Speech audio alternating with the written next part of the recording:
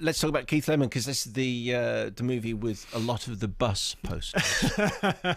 yeah, you're saying that slightly cynically, Simon. well, you know, only in as much as movies that are advertised on the sides of buses aren't necessarily the finest product. Yes, more advertising and less critics reviewing it. I think that was their idea. Um, so, of course, this takes the character, the Lee Francis character, hugely popular on um, ITV2, isn't it, that he's on, um, and gives him the storyline. So, the storyline is basically Keith goes from Leeds, where he's from, to London to make his fortune. And he does that by bringing out a new mobile phone called the Lemon Phone. Uh, and along the way, he, he meets up with Kelly Brook, who he's always completely uh, fantasized about, gets her as a girlfriend.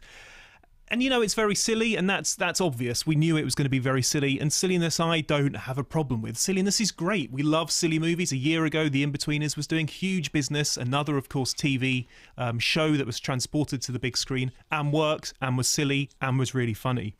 I think the key thing is with with the Keith Lemon film is that even silly comedies and filthy comedies need some need to have some kind of point, right? The jokes need to have some kind of foundation to them because if you don't have that, you just end up with a film like those those awful spoofs like Meet the Spartans and Epic Movie and things where stuff just happens and that's meant to be funny in itself. That's the problem I think with the Keith Lemon film. Just getting uh, stuck into Keith Lemon, the film. Yeah. Matt, Matt Boyle uh, on this saying it will be interesting to see how a more in touch, i.e., younger reviewer considers Keith Lemon, as I imagine the doc would have done that thing of not prejudging it, but really making a judgment beforehand, like all Will Ferrell and Judd Apatow films. Can't say I expect it to be great, but you never know. So, as Wow. someone who is clearly younger and more in touch, Thanks. but you're probably what? How old? How old are you now? Thirty-four. I'm 37 actually. There you go. Yeah. Well, But, frankly, uh, that's a lot more in touch than Mark and I. You know, even if I was 15, though, I, I don't think that being young is an excuse for sort of having a, a badly made film imposed upon you. I mean, th- a lot of people say when it's a kids' film and it's not very good, and critics go, "Well, it's not very well made." They go, "Well, it's a kids' film; it doesn't matter." But I think everybody should be entitled to see really well-made, good films, and that doesn't mean they can't be stupid and silly, but it just means that perhaps they should have a little bit more to them and be a little bit better constructed. And that's really the problem I have with Keith Lemon. Obviously, you know it's there to be stupid. That's not the problem. I think the problem is it's just made so lazily and without any sort of panache to it, any without any real passion actually for movie making and love of filmmaking. You don't really get that across um, on the screen. I suppose the plus side is. I'm sure we probably said the same thing when um, Ali G in the House came out, which of course was Sacha Baron Cohen's you know first film, again based on a very popular TV character, and he made the film, and people just thought, well, he's probably better than this, and I think Lee Francis actually is better than this. And what Sacha Baron Cohen did was go to America and, and, and work with Larry Charles and, and make some kind of much more edgy films and much more exciting movies. And I hope actually that Lee Francis could do the same because he has the talent, but perhaps there just needs to be. Um, a bit more care and attention paid. What's it about? Well, it's about him going to London. I mean, there's sort of a theme. You know, I was saying it's pointless, but there's sort of a point about the difference between the North and London. But I mean, it's very weak. It's never really explored.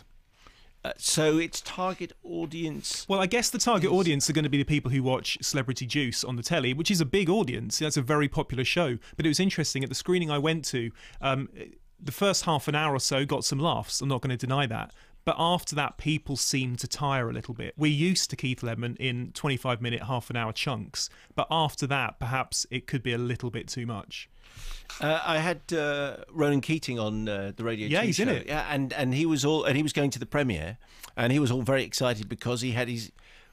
We did actually use the phrase he had a small part in Keith Lemon, but you know it was that was the, but he he he does what in it? Well, there's a load of cameos. I mean, a huge amount of cameos. So Lee's obviously got some good mates, and they're quite big names, but the- a, a lot of them they don't really do anything with them. And this is going back to when I mentioned uh, Meet the Spartans, those kind of movies which used to just have a lot of lookalikes turn up, and that was meant to be a joke in itself.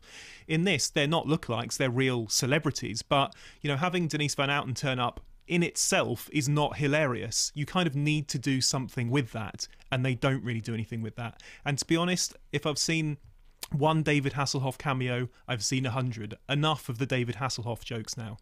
Uh, it's a, it's an interesting comparison that you're making with Ali G in the House because obviously Sacha Baron Cohen has gone on to make some very good films, but I th- in general, Ali G in the House was not considered no, a and it- good film. People knew that he was better than that, uh, and and I think actually that that Lee could do better than this. I think that's the point. and I think that if if actually he maybe teams up with a writer or, or kind of really makes an effort to, to push things a lot more, because then when we saw Borat come out, we were like, wow, is this the same guy? He's really pushing things, uh, and I think he could do that, and I hope he does, to be honest, because he has he plays multiple characters in this movie. I mean, this is someone who can act, who can inhabit different characters.